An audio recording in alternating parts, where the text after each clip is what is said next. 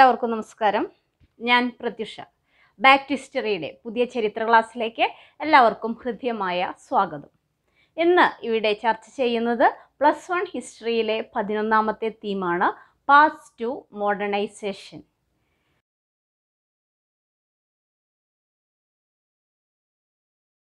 plus one ഹിസ്റ്ററിയുടെ അവസാനത്തെ അധ്യായമായ ആധുനികവൽക്കരണത്തിലേക്കുള്ള പാതകൾ എന്ന അധ്യായമാണ് ഇന്നിവിടെ പഠിക്കുന്നത്.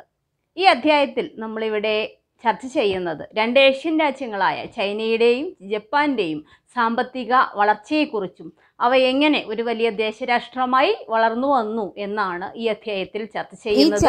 അപ്പൊ ഞാനെന്നും പറയുന്ന പോലെ തൊട്ടടുത്തുള്ള ബെല്ലൈക്കൺ എനേബിൾ ചെയ്താൽ തുടർന്ന് വരുന്ന എന്റെ ക്ലാസ്സുകളുടെ നോട്ടിഫിക്കേഷൻ ഉടനടി ലഭിക്കുന്നതായിരിക്കും. അതുപോലെ ഈ ക്ലാസ്സുകൾ കൂട്ടുകാർക്ക് ഷെയർ ചെയ്യാനും മറക്കരുത്.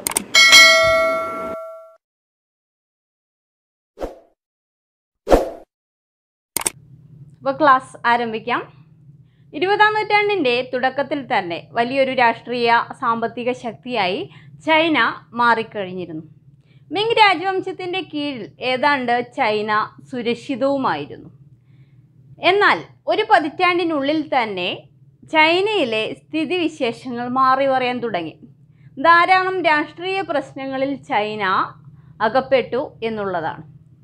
കൊളോണിയൽ ശക്തികളെ രാജ്യത്ത് ധാരാളം ആഭ്യന്തര പ്രശ്നങ്ങൾ ഉണ്ടാവുന്നു. ഈ മാത്രമല്ല രാജവംശത്തിന് രാഷ്ട്രീയ അധികാരം നഷ്ടപ്പെടുന്ന സ്ഥിതിവിശേഷവും ചൈനയിൽ സംജാതമാവുകയും ചെയ്തു.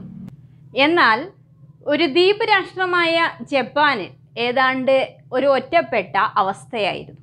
എങ്കിലും ഒരു ദേശരാഷ്ട്രം കെട്ടിപ്പടുക്കുന്നതിൽ ജപ്പാൻ വിജയിച്ചു. മാത്രമല്ല ഒരു വലിയ സാമ്പത്തിക ശക്തിയായി സാമ്പത്തിക വ്യാവസായിക ശക്തിയായി ജപ്പാൻ മാറുകയും ചെയ്തു. ജപ്പാനിലെ സമ്പദ് വ്യവസ്ഥ അതിവേഗം വികസിക്കുകയും തായ്വാനും കൊറിയയും ഉൾപ്പെടുന്ന ഒരു കൊളോണിയൽ രാഷ് ഏഹ് സാമ്രാജ്യത്വം പടുത്തുയർത്താനും ജപ്പാൻ വിജയിക്കുകയും ചെയ്തു. കൂടാതെ ജപ്പാൻ ഒരു യൂറോപ്യൻ ശക്തിയായ റഷ്യയെയും അതുപോലെ ചൈനയെയും പരാജയപ്പെടുത്തി. ചൈനയിലെ ജനങ്ങൾ മാറ്റങ്ങളോട് പ്രതികരിക്കാൻ ആരംഭിച്ചു. തങ്ങളുടെ ദേശീയ ശക്തിയും സാമ്പത്തിക വളർച്ചയും വീണ്ടെടുക്കാൻ അവർ ആഗ്രഹിക്കുകയും അതിനുവേണ്ടി ഇതൊരു വിപ്ലവത്തിലൂടെ മാത്രമേ സാധ്യമാവൂ എന്നവർ മനസ്സിലാക്കുകയും ചെയ്തു. രാജ്യത്തെ സാമ്പത്തിക രാഷ്ട്രത്തെ പുനർനിർമ്മിക്കുക അതുപോലെ രാജ്യത്തിലെ അസമത്വങ്ങൾ സാമ്പത്തിക അസമത്വങ്ങൾ ഇല്ലാതാക്കുക എന്നീ മുദ്രാവാക്യത്തോടു കൂടി അവർ ജനങ്ങൾ മാറ്റങ്ങളോട് പ്രതികരിക്കാൻ ആരംഭിക്കുകയും ഇത് ആയിരത്തി തൊള്ളായിരത്തി നാൽപ്പത്തി ഒൻപതിലെ കമ്മ്യൂണിസ്റ്റ് വിപ്ലവത്തിൽ കലാശിക്കുകയും ചെയ്തു. അങ്ങനെ വിപ്ലവത്തിൽ കമ്മ്യൂണിസ്റ്റ് പാർട്ടി വിജയിക്കുകയും ചെയ്തു. രാഷ്ട്രത്തെ പുനർനിർമ്മിക്കുക അതുപോലെ രാജ്യത്തിലെ സാമ്പത്തിക അസമത്വങ്ങൾ ഇല്ലാതാക്കുക എന്നീ ലക്ഷ്യങ്ങളോടുകൂടി അവർ വിപ്ലവം നയിക്കുകയും ചെയ്തു. അങ്ങനെ കമ്മ്യൂണിസ്റ്റ് പാർട്ടിക്ക് തങ്ങളുടെ പാർട്ടിയുടെ നയങ്ങൾ രാജ്യത്തിന്റെ സാമ്പത്തിക വളർച്ചയെയും വികസനത്തിനെയും തടസ്സപ്പെടുന്നു എന്ന് ആയിരത്തി തൊള്ളായിരത്തി എഴുപതുകളിൽ നേതാക്കന്മാർക്ക് മനസ്സിലാക്കുകയും പാർട്ടി അതിന്റെ നയങ്ങളിൽ ചില കാതലായ മാറ്റങ്ങൾ കൊണ്ടുവരികയും ചെയ്തു.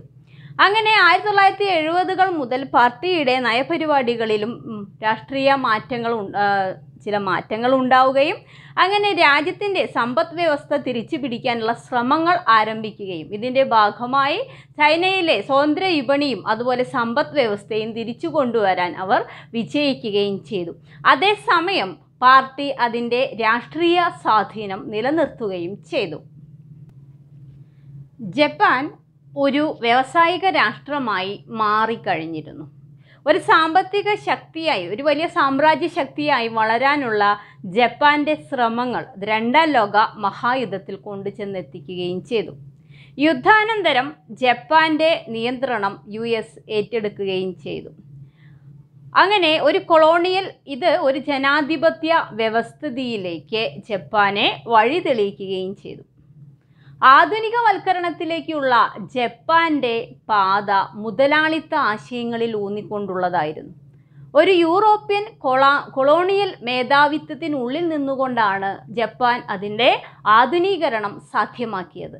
അതേസമയം അവർ അവരുടെ ദേശീയത ഉയർത്തി പിടിക്കുകയും ചെയ്തു. സോഴ്സസ് ഉറവിടങ്ങളെക്കുറിച്ചാണ്. അടുത്തതായിട്ട് നമുക്ക് നോക്കാനുള്ളത്. ചൈനയുടെയും ജപ്പാന്റെയും ചരിത്രം പുനർനിർമ്മിക്കാനുള്ള പ്രധാനപ്പെട്ട സ്രോതസ്സുകൾ ഏതൊക്കെയാണ് എന്ന് നമുക്കൊന്ന് പരിശോധിക്കാം. ചൈനയ്ക്കും ജപ്പാനും വളരെ സുദീർഘമായ ഒരു ചരിത്ര രചനാ പാരമ്പര്യം ഉണ്ടായിരുന്നു. ചൈനീസ് ഗവൺമെന്റും അതുപോലെ ജാപ്പാനീസ് ഗവൺമെന്റും ചരിത്ര രേഖകൾ എഴുതുകയും അവ സൂക്ഷിക്കുകയും ഭരണാധികാരികൾ ഇതിന് വളരെയധികം പ്രാധാന്യം നൽകുകയും ചെയ്തിരുന്നു എന്നുള്ളതാണ്. ഇപ്പം ചൈനയിലെ വളരെ വളരെ അറിയപ്പെടുന്ന വളരെ പ്രാചീനനായ വളരെ അറിയപ്പെടുന്ന ഒരു പ്രധാനപ്പെട്ട പഴയകാല ചരിത്രകാരനാണ് സിമ ചിയാൻ. അതുപോലെ തന്നെ ജപ്പാനും തന്നെ വളരെ ജപ്പാൻ ജപ്പാനി ജാപ്പാനീസ് എഴുത്തുകളോടും അതുപോലെ ജപ്പാനീസ് സാഹിത്യങ്ങളോടും സാഹിത്യ രചനകളോടും അതുപോലെ തന്നെ ജപ്പാന്റെ ചരിത്രം സൂക്ഷിക്കുന്നതിൽ ജാപ്പാനീസ് ഗവൺമെന്റും വളരെയധികം ശ്രദ്ധ ചെലുത്തിക്കൊണ്ടിരുന്നു. ജപ്പ പഴയകാല ധാരാളം ദീക്ഷണശാലികളായ ചരിത്രകാരന്മാരായ ലിയാങ് ചിച്ചാവോ കുനെ കുമേ കുനിതകെ അതുപോലെ തന്നെ Jesuit പുരോഹിതന്മാരായ Matteo Ricci Matteo Ricci in China Louis Frois in France അതുപോലെ ഇറ്റാലിയൻ സഞ്ചാരിയായ മാർക്കോ പോള. ഇങ്ങനെ ജെസ്യൂട്ട് പുരോഹിതന്മാരുടെ രചനകളൊക്കെ തന്നെ നമുക്ക് ജപ്പാന്റെയും ചൈനയുടെയും ചരിത്രം പുനർനിർമ്മിക്കുന്നതിൽ വളരെയധികം സഹായകരമായ സ്രോതസ്സുകളാണ്. അതുപോലെ തന്നെ ജോസഫ് നീതം അദ്ദേഹത്തിന്റെ പുസ്തകമായ history of science in Chinese civilisation Chinese സംസ്കാരത്തിന്റെ ചരിത്രത്തിന്റെ ചൈനീസ് സംസ്കാരത്തിന്റെ ശാസ്ത്രത്തിന്റെ ചരിത്രം ചൈനീസ് സംസ്കാരത്തിന്റെ ശാസ്ത്രത്തിന്റെ ചരിത്രം എന്ന പുസ്തകവും history of science in Chinese civilisation എന്ന പുസ്തകവും ജോർജ് സാൻസൺ എഴുതിയ Japanese history and culture Japanese ചരിത്രവും സംസ്കാരവും എന്ന പുസ്തകവും ഈ കാലഘട്ടത്തെക്കുറിച്ച് നമുക്ക് ജപ്പാന്റെയും ചൈനയുടെയും ചരിത്രം പുനർനിർമ്മിക്കുന്നതിൽ വളരെയധികം സഹായകരമായിട്ടുള്ള സ്രോതസ്സുകളാണ്. അതുപോലെ തന്നെ ധാരാളം ചൈനീസ് എഴുത്തുകാർ ജപ്പാനിൽ ജോലി ചെയ്യുകയും അങ്ങനെ അവിടെ ജപ്പാ ജപ്പാനീസ് ഭാഷയിൽ ധാരാളം കൃതികൾ എഴുതുകയും ചെയ്തു. ഈ അടുത്ത കാലത്തായി ധാരാളം പണ്ഡിതന്മാർ ചൈനയുടെയും ജപ്പാന്റെയും ചരിത്ര രചനകളൊക്കെ ഇംഗ്ലീഷിലേക്ക് പരിഭാഷപ്പെടുത്തുകയും ചെയ്യുകയുണ്ടായി. Naito Konan. ചൈനയിലെ പ്രമുഖനായ ജാപ്പാനീസ് പണ്ഡിതനായിരുന്നു നൈറ്റോ കോനാൻ. ചൈനയെ പാശ്ചാത്യ ചരിത്രരചന ശാസ്ത്ര രീതികൾ ഉപയോഗിച്ചുകൊണ്ട് അദ്ദേഹം പഠിക്കാൻ ശ്രമിച്ചു. അദ്ദേഹത്തിന്റെ പ്രധാനപ്പെട്ട ഒരു രചനയാണ് ഷിനാറോൺ ഓൺ ഓൺ ചൈന എന്ന് പറയുന്ന പുസ്തകം. In nineteen nought seven he established a department of oriental studies at Kyoto university ആയിരത്തി തൊള്ളായിരത്തി ഏഴിൽ ക്യോട്ടോ യൂണിവേഴ്സിറ്റിയിൽ അദ്ദേഹം ഓറിയന്റൽ വകുപ്പുകളുടെ ഓറിയന്റൽ ഡിപ്പാർട്ട്മെന്റ് ഡിപ്പാർട്ട്മെന്റിന്റെ ഡിപ്പാർട്ട്മെന്റ് സ്ഥാപിക്കുകയും ചെയ്തു. അതുപോലെ സുങ് രാജവംശത്തിന്റെ കാലഘട്ടം മുതൽ തന്നെ ചൈനയിൽ നിലനിന്നിരുന്ന കുലീന മേധാവിത്വവും അതുപോലെ അധികാര അധികാര മേധാവിത്വവും കുലീന മേധാവിത്വവും അവസാനിപ്പിക്കാനുള്ള വഴികൾ സണ്യാസിന്റെ റിപ്പ സണ്യാസിന്റെ റിപ്പബ്ലിക്കൻ നയങ്ങളിലൂടെ നമുക്ക് അതിനുള്ള പരിഹരിക്കാനുള്ള മാർഗങ്ങൾ അദ്ദേഹത്തിന്റെ ആശയങ്ങളിലുണ്ട് എന്ന് അദ്ദേഹം ചൂണ്ടിക്കാണിക്കുകയും ചെയ്തു. അതുപോലെ തന്നെ ജപ്പാന്റെ ചൈനയെ ആധുനികവൽക്കരിക്കാനുള്ള വഴികൾ ചൈനീസ് ചരിത്രത്തിൽ തന്നെ ഉണ്ട് എന്ന് നൈറ്റോ കോനാൻ എടുത്തു പറയുകയും ചെയ്തു. ജപ്പാന് ചൈനയിൽ ധാരാളം പങ്ക് വഹിക്കാനുണ്ട് എന്ന് അദ്ദേഹം പ്രസ്താവിക്കുകയും ചെയ്- ചെയ്യുന്നതോടൊപ്പം തന്നെ ചൈനയുടെ ദേശീയ ശക്തിയെ അദ്ദേഹം വില കുറച്ച് കാണിക്കാനും ചില ശ്രമങ്ങൾ നടത്തി. അടുത്തതായി നമുക്ക് നോക്കാനുള്ളത് ചൈന ആൻഡ് ജപ്പാൻ ഇൻട്രൊഡക്ഷൻ ചൈനയുടെയും ജപ്പാന്റെയും ചില ഭൂമിശാസ്ത്രപരമായ സവിശേഷതകൾ എന്തൊക്കെയാണ് എന്ന് നോക്കാം. ചൈന ജപ്പാനിൽ നിന്ന് വ്യത്യസ്തമായി ചൈന വളരെ വിശാലമായ ഒരു ഭൂഖണ്ഡാന്തര പ്രദേശമാണ്. ഈ രാജ്യത്തിന്റെ ഒരറ്റം മുതൽ മറ്റേ അറ്റം വരെ വിവിധ വ്യത്യസ്തമായ കാലാവസ്ഥ മേഖലകളുണ്ട്. രാജ്യത്തിന്റെ കേന്ദ്രഭാഗത്ത് മേധാവിത്വം പുലർത്തുന്ന പ്രധാനമായും മൂന്ന് നദികളാണ്. മഞ്ഞ നദി പേൾ നദി ആൻഡ് യാങ്സി നദി. മല ധാരാളം മലനിരകൾ ഈ ഈ ഇവിടെ നിലനിൽക്കുന്നുണ്ട്. രാജ്യത്തെ പ്രധാനപ്പെട്ട വംശീയ വിഭാഗം ഹാൻ ആണ്. ഇവരെ കൂടാതെ ഉയ്ഗർ ഹ്യൂ മഞ്ജു ടിബറ്റൻ തുടങ്ങിയ വംശീയ വിഭാഗങ്ങളും ചൈനയിൽ നിലനിൽക്കുന്നുണ്ട്. ചൈനയിലെ പ്രധാന ഭാഷ ചൈനീസാണ്. ആണ് ലോകത്തിലെ ഏറ്റവും കൂടുതൽ ആളുകൾ സംസാരിക്കുന്ന ഭാഷ ചൈനീസ് ഭാഷയായ മാൻഡരിനാണ് ഇവയ്ക്ക് പുറമെ ഷാങ്ഹായിസ് കാൻഡണീസ് തുടങ്ങിയ ധാരാളം ഭാഷകൾ ഉപഭാഷകളും മറ്റു ന്യൂനഭാ ന്യൂനപക്ഷ ഭാഷകളും ഇവിടെ സംസാരിക്കുന്നുണ്ട്. ചൈനീസ് ഭക്ഷണത്തിലും ഈ പ്രാദേശിക വൈവിധ്യങ്ങൾ കാണാൻ സാധിക്കും. പ്രധാനമായും നാല് തരത്തിലുള്ള പ്രാദേശിക ഭക്ഷണ വൈവിധ്യങ്ങളാണ് ചൈനയിൽ കാണുന്നത്.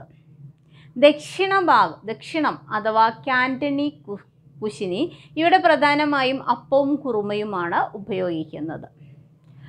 ഉത്തരഭാഗത്ത് ഗോതമ്പാണ് മുഖ്യ ഭക്ഷണം. സെച്ചുവാൻ പ്രദേശത്ത് സുഗന്ധദ്രവ്യങ്ങളും മുളകും ചേർത്ത ഭക്ഷണമാണ്. കിഴക്കൻ ഭാഗത്ത് അരിയും ഗോതമ്പുമാണ് ഉപയോഗിക്കുന്നത്. ചൈനയിൽ നിന്ന് വ്യത്യസ്തമായി ജപ്പാൻ ഒരു ദ്വീപ് ശൃംഖലയാണ്. പ്രധാനമായും നാല് ദ്വീപുകളായ ഹോങ്ഷു ക്യൂഷു ഷിക്കോക്കു ഒക്കായിഡോ തുടങ്ങിയ നാല് പ്രധാനപ്പെട്ട ദ്വീപ് ശൃംഖലകളാണ് ജപ്പാനിലുള്ളത്. ഒക്കിനാവൻ ശൃംഖല രാജ്യത്തിന്റെ തെക്കുഭാഗത്തായിട്ട് സ്ഥിതി ചെയ്യുന്നു. രാജ്യത്തിന്റെ കരപ്രദേശത്തിന്റെ അൻപത് ശതമാനവും മലമ്പ്രദേശങ്ങളാണ് സജീവ ഭൂകമ്പ മേഖലയിലാണ് ജപ്പാൻ സ്ഥിതി ചെയ്യുന്നത്.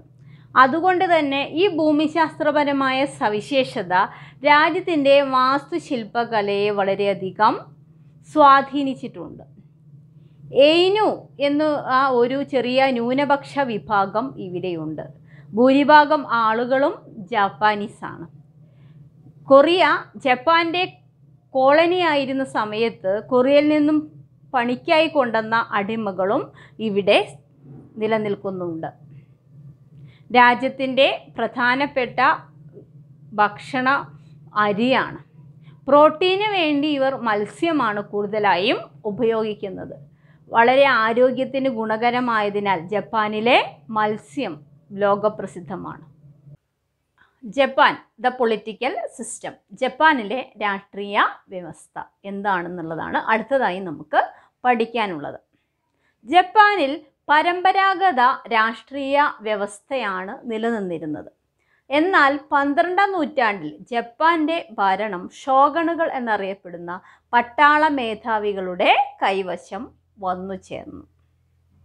ചക്രവർത്തിക്ക് നാമമാത്രമായ അവകാശങ്ങൾ മാത്രമാണ് ഉണ്ടായിരുന്നത്. രാഷ്ട്രീയ അധികാരമൊന്നും ഉണ്ടായിരുന്നില്ല. ആയിരത്തി അറുന്നൂറ്റി മൂന്ന് മുതൽ ആയിരത്തി എണ്ണൂറ്റി അറുപത്തിയേഴ് വരെ തൊക്കുഗവ എന്നറിയപ്പെടുന്ന കുടുംബത്തിൽ നിന്നുള്ളവരായിരുന്നു ഷോഗണുകളുടെ പദവി നിലനിർത്തിയിരുന്നത്. ജപ്പാനിൽ പരമ്പരാഗത ഫ്യൂഡൽ വ്യവസ്ഥിതിയും നിലനിന്നിരുന്നു. രാജ്യത്തെ ഇരുന്നൂറ്റി അൻപത് മേഖലകളാക്കി ഓരോ മേഖലകളുടെയും ഭരണം ഡെയ്മിയോ എന്നറിയപ്പെടുന്ന ഫ്യൂഡൽ പ്രഭുക്കന്മാരെ ഏൽപ്പിച്ചു. ഷോഗണുകൾക്ക് ഡെയ്മിയോകളുടെ മേലെ നിയന്ത്രണം ഉണ്ടായിരുന്നു. തലസ്ഥാനമായ ഏതോയിൽ തങ്ങുവാൻ ഷോഗണുകൾ ഡെയ്മിയോകളോട് നിർദ്ദേശം നൽകിയിരുന്നു. പ്രധാനപ്പെട്ട ഖനികളുടെയും വ്യവസായങ്ങളുടെയും മേൽനോട്ടം ഷോഗണുകൾക്ക് തന്നെയായിരുന്നു. സമുറായ് എന്നറിയപ്പെടുന്ന യോദ്ധാക്കളുടെ വർഗം ഭരണരംഗത്തെ ഒരു ഉപരിവർഗമായിരുന്നു. ഇവർ ഷോഗണുകളെയും അതുപോലെ ഡേമിയോകളെയും സേവിച്ചിരുന്നു.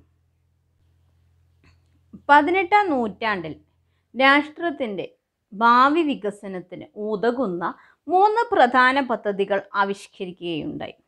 അതിലൊന്ന് കർഷകരെ നിരായീകരിക്കുക. ദ പെസൺ വാസ് ഡിസാമഡ് രണ്ട് the daimyos were granted more authority ഡേമിയോകൾക്ക് കൂടുതൽ അവകാശ അധികാരങ്ങൾ നൽകുക. മൂന്ന് the land surveys were conducted and owners and tax payers were identified ഭൂമി അളന്ന് തിട്ടപ്പെടുത്തി ഭൂ ഉടമകളെയും നികുതിദായകരെയും തിരിച്ചറിയുകയും അതുപോലെ ഭൂമിയുടെ ഫലഭൂയിഷ്ഠതയുടെ അടിസ്ഥാനത്തിൽ ഭൂമികളെ തരംതിരിക്കുകയും ചെയ്തു എന്ന് എന്നുള്ള മൂന്ന് പ്രധാനപ്പെട്ട പരിപാടികൾക്ക് ആസൂത്രണം നൽകി. ഡെയ്മിയോകൾ തലസ്ഥാനങ്ങൾ വലുതാക്കി. പതിനേഴാം നൂറ്റാണ്ടിന്റെ മധ്യത്തോടെ ലോകത്തിലെ ഏറ്റവും ജനസംഖ്യയുള്ള നഗരങ്ങളിൽ ഒന്നായി ജപ്പാന്റെ തലസ്ഥാനമായ ടോക്കിയോ മാറി. കൂടാതെ ഒസാക്ക ക്യോട്ടോ തുടങ്ങിയ മഹാനഗരങ്ങളും അര അൻപതിനായിരത്തിലധികം ജനസംഖ്യയുള്ള അര ഡസനോളം നഗരങ്ങളും ഈ സമയത്ത് ജപ്പാനിലുണ്ടായിരുന്നു മിക്ക യൂറോപ്യൻ രാജ്യങ്ങളിലും ഒരു മഹാനഗരം മാത്രമേ ഉണ്ടായിരുന്നുള്ളൂ എന്ന് നമ്മൾ ഓർക്കേണ്ടതാണ്. ഇതോടൊപ്പം വിപണികൾ വളരെ സജീവമാവുകയും നഗരങ്ങൾ ചലനാത്മകമാവുകയും ജപ്പാന്റെ സമ്പദ് വ്യവസ്ഥ അതിവേഗം വളർന്നുകൊണ്ടിരിക്കുകയും ചെയ്തു. ലോകത്തിലെ ഏറ്റവും വലിയൊരു സമ്പന്ന രാജ്യമായിട്ടാണ് ജപ്പാനെ മറ്റു രാജ്യങ്ങൾ നോക്കിക്കണ്ടത്. ഇന്ത്യയിൽ നിന്നും തുണിത്തരങ്ങളും ചൈനയിൽ നിന്നും പട്ടും ഇവർ ഇറക്കുമതി ചെയ്തു. സ്വർണവും വെള്ളിയും അമൂല്യമായിട്ടുള്ള സ്വർണം വെള്ളി പോലുള്ള ലോഹങ്ങൾ കൊടുത്താണ് ഇത്തരത്തിലുള്ള വസ്തുക്കൾ അവർ ഇറക്കുമതി ചെയ്തിരുന്നത്. ഇത് രാജ്യത്തിന്റെ സമ്പദ് വ്യവസ്ഥയെ സാരമായി ബാധിക്കുകയും പിന്നീട് ഇത്തരം വസ്തുക്കൾക്ക് അലോ മൂല്യവത്തായ വസ്തുക്കൾ കയറ്റുമതി ചെയ്യുന്നതിൽ വിലക്ക് ഏർപ്പെടുത്തേണ്ടതായി ഗവൺമെന്റിന് വരികയും ചെയ്തു. ക്യോട്ടോയിലെ നിഷിജിൻ പ്രദേശത്ത് തുണി വ്യവസായം തുടങ്ങാൻ ഗവൺമെന്റ് തീരുമാനിക്കുകയും അങ്ങനെ ഇറക്കുമതി കുറയ്ക്കാൻ ശ്രമിക്കുകയും ചെയ്തു. നിഷിജിനിലെ പട്ട് ലോകപ്രശസ്തമാവുകയും ചെയ്തു. പണത്തിന്റെ ഉപയോഗം വളരെ വ്യാപകമായി വരികയും അങ്ങനെ വിപണി അതിവേഗം വളർന്നുകൊണ്ടിരിക്കുകയും അരിയുടെ അരി ഇറക്കുമതി ചെയ്യുന്നതിനും അരിയുടെ വ്യവസായത്തിന് വേണ്ടി ഒരു സ്റ്റോക്ക് എക്സ്ചേഞ്ച് തുറക്കുകയും അങ്ങനെ സമ്പദ് വ്യവസ്ഥ പുതിയ വഴികളിലൂടെ സഞ്ചരിക്കുകയും ചെയ്തു. അതേപോലെ ജപ്പാനിലെ ജനങ്ങൾ കലയെയും സാഹിത്യത്തെയും പ്രോത്സാഹിപ്പിക്കുകയും അങ്ങനെ അച്ചടി വിധിയും വായന എല്ലാവരിലേക്കും എത്തുകയും അച്ചടി മേഖലയും വികാസം പ്രാപിക്കുകയും ചെയ്തു എന്നുള്ളതും ഈ കാലഘട്ടത്തിന്റെ മറ്റൊരു സവിശേഷതയാണ്. സാമൂഹികവും ദൈക്ഷണികവുമായ ധാരാളം മാറ്റങ്ങൾക്ക് ഈ കാലഘട്ടം സാഹ്യ സാക്ഷ്യം വഹിച്ചു. ജപ്പാനീസ് സാഹിത്യം ജനങ്ങൾ ആഴത്തിൽ സ്വാധീനിക്കാനും അവ പഠിക്കാനും ജനങ്ങൾ ആരംഭിക്കുകയും ചെയ്തു. അതുപോലെ തന്നെ ചൈനയുടെ സ്വാധീനത്തിന് മുന്നേ തന്നെ ജപ്പാനീസ് സ്വത്വം നിലനിന്നിരുന്നു എന്ന് ജനങ്ങൾ വാദിക്കുകയും ചൈനയിൽ ജപ്പാന്റെ സ്വാധീനത്തെക്കുറിച്ച് ജാപ്പാനീസ് ജനത ചോദ്യം ചെയ്യുകയും ചെയ്തു. അതുപോലെ ചൈനയുടെ ഉത്ഭവത്തെക്കുറിച്ചും പുരാവൃത്തത്തെക്കുറിച്ചും മനസ്സിലാക്കാനും അത്തരത്തിലുള്ള ഒരു കൃതിയാണ് പ്രമുഖ എഴുത്തുകാരനായ മിറ സാക്കി ഷിക്കുപ്പു എഴുതിയ ദ ടെയിൽ ഓഫ് ജെഞ്ചി എന്ന് പറയുന്ന പുസ്തകം ജപ്പാന്റെ ഉത്ഭവത്തെക്കുറിച്ചും ഈ പുസ്തകത്തിൽ പറയുന്നത് ജാപ്പാനീസ് ദ്വീപുകൾ ദൈവനിർമ്മിതമാണെന്നും ചക്രവർത്തി സൂര്യദേവതയുടെ പിൻഗാമിയാണ് എന്നുമാണ് ഇവർ ഈ പുസ്തകത്തിൽ വാദിക്കുന്നത്. അടുത്തതായി നമുക്ക് പഠിക്കാനുള്ളത് മേജി റെസ്റ്റോറേഷൻ മേജി പുനഃസ്ഥാപനം. പരീക്ഷയ്ക്കൊക്കെ നമുക്ക് ഈ ഭാഗത്തു ഒരു ചോദ്യം പ്രതീക്ഷിക്കാവുന്നതാണ്. എന്താണ് മേച്ചി പുനഃസ്ഥാപനം എന്ന് നമുക്കൊന്ന് പരിശോധിക്കാം. പാശ്ചാത്യ ലോകത്തു നിന്നും ഏതാണ്ട് ഒറ്റപ്പെട്ട അവസ്ഥയിലാണ് ജപ്പാൻ കഴിഞ്ഞിരുന്നത്. പാശ്ചാത്യ കൊണോഡിയൽ ശക്തികളുടെ മേധാവിത്വത്തിൽ നിന്നും രക്ഷപ്പെട്ട ഏക ഏഷ്യൻ രാജ്യവും ജപ്പാനാണ്. ഈ കാലത്ത് ജപ്പാനുമായി വ്യാവസായിക ബന്ധം പുലർത്തിയിരുന്ന യു പാശ്ചാ യൂറോപ്യൻ രാജ്യം പാശ്ചാത്യ രാജ്യം ഹോളണ്ടായിരുന്നു. എന്നാൽ ജപ്പാനുമായി വാണിജ്യ ബന്ധം നിലനിർത്താൻ ഏറെ ആഗ്രഹിച്ച ഒരു യൂറോപ്യൻ രാജ്യമായിരുന്നു യു എസ് എ എന്ന്. ആയിരത്തി എണ്ണൂറ്റി അൻപത്തി മൂന്നിൽ കമഡോർ മാത്യു പെറിയുടെ നേതൃത്വത്തിലൊരു സംഘം ജപ്പാനിലെത്തുകയും ജപ്പാനുമായി നയതന്ത്ര ബന്ധം സ്ഥാപിക്കുക ജപ്പാനുമായി വ്യാപാര നടത്താനുള്ള അനുമതി നേടുക എന്നതൊക്കെയായിരുന്നു ഇവരുടെ ലക്ഷ്യം. അങ്ങനെ ഈ സംഘം ജപ്പാനിൽ എത്തുകയും ചെയ്തു. തൊട്ടടുത്ത വർഷം വീണ്ടും മാത്യു പെറി ജപ്പാനിലെത്തുന്നു അങ്ങനെ ജപ്പാനിലെ രണ്ട് തുറമുഖങ്ങൾ നിയന്ത്രിതമായ തോതിൽ വ്യവസായം നടത്താനുള്ള അനുമതി ഇവർക്ക് കിട്ടുകയും ചെയ്യുന്നു.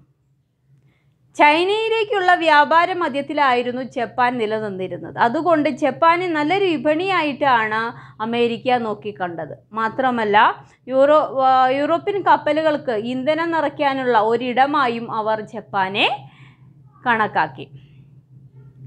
പക്ഷേ യൂറോപ്യൻ ശക്തികൾക്ക് അനുമതി കൊടുത്ത വ്യാപാര അനുമതി കൊടുത്തത് അവിടെ ജപ്പാനിലെ ജനങ്ങൾക്ക് ഒട്ടും ഇഷ്ടമായില്ല. തങ്ങളുടെ മേധാവിത്വം. അധിനിവേശ ശക്തികൾക്ക് അടിയറ പറഞ്ഞ ഷോഗണുകൾക്കെതിരെ ശക്തമായ ഒരു കലാപം രാജ്യത്ത് നില രാജ്യത്ത് അരങ്ങേറി. ഇത് ഷോഗണുകളുടെ ഭരണം അവസാനിക്കാനും ചക്രവർത്തിയുടെ ഭരണം ജപ്പാനിൽ പുനഃസ്ഥാപിക്കാനും കാരണമാവുകയും ചെയ്തു.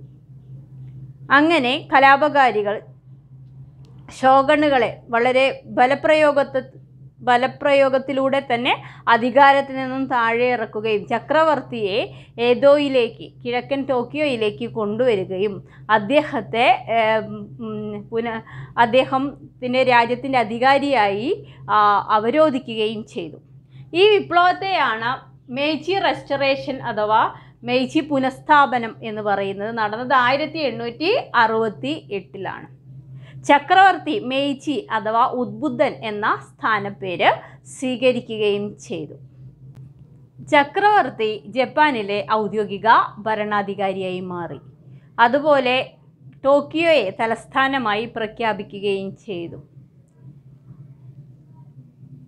ഏഷ്യയിലെയും അതുപോലെ ആഫ്രിക്കയിലെയും പല രാജ്യങ്ങളും യൂറോപ്യൻ യൂറോപ്യന്മാർ കോളനിവൽക്കരിക്കുന്നതിനെ കുറിച്ചും അതുപോലെ ബ്രിട്ടീഷുകാർ ചൈനയെ തോൽപ്പിക്കുന്ന തോൽപ്പിച്ചതും ജപ്പാനിലെ ജനങ്ങൾ അറിഞ്ഞിരുന്നു. അതുകൊണ്ട് തന്നെ യൂറോപ്യൻ ശക്തികൾക്ക് അടിമപ്പെടരുത് എന്ന് ജപ്പാനിലെ ജനത അമിതമായി ആഗ്രഹിച്ചു. അതേസമയം യൂറോപ്യൻ ആശയങ്ങൾ ഉൾക്കൊള്ളാനും യൂറോപ്യൻ ആശയങ്ങളോട് മനസ്സിലാക്കിക്കൊണ്ട് മുന്നേറണമെന്നും ഒരു വിഭാഗം പണ്ഡിതന്മാർ ജപ്പാനിലെ പണ്ഡിതന്മാർ ആഗ്രഹിക്കുകയും ചെയ്തു. എന്നാൽ യൂറോപ്പിലെ യൂറോപ്യന്മാരെ രാജ്യത്തു നിന്നും പുറന്തള്ളണം എന്നുള്ള ശക്തമായ ആവശ്യമായിരുന്നു അവർക്കിടയിൽ ഉണ്ടായിരുന്നത്. സമ്പന്നമായ രാഷ്ട്രം ശക്തമായ സമ്പന്നമായ രാഷ്ട്രം ശക്തമായ സൈന്യം. എന്ന മുദ്രാവാക്യത്തോടു കൂടി പുത്തൻ ഗവൺമെന്റ് അധികാരത്തിൽ ഏറി. Rich country and strong army ഫുക്കോക്കു കോഹി എന്ന ആശയങ്ങളോടുകൂടി പുത്തൻ ഗവൺമെന്റ് അധികാരത്തിലേറുകയും അങ്ങനെ ജപ്പാനിൽ പുത്തൻ ആശയങ്ങൾ പുത്തൻ സമ്പദ് വ്യവസ്ഥയ്ക്കും തുടക്കം കുറി കുറിക്കുകയും ചെയ്തു.